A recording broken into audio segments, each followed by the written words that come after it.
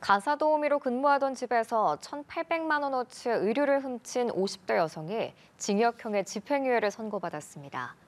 서울 서부지법은 절도 혐의로 재판에 넘겨진 A 씨에게 징역 6개월에 집행유예 2년을 선고했습니다.